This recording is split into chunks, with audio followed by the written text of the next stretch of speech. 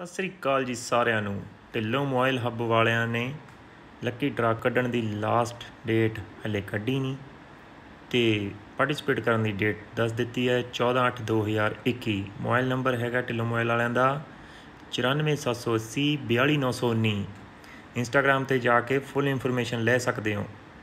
Dhillon mobile ਹੱਬ ਦੇ ਨਾਂ ਤੇ ਇੰਸਟਾਗ੍ਰam ਤੇ ਪੇਜ ਹੈ, ਡਰਾ ਲਾਈਵ ਹੋਵੇਗਾ।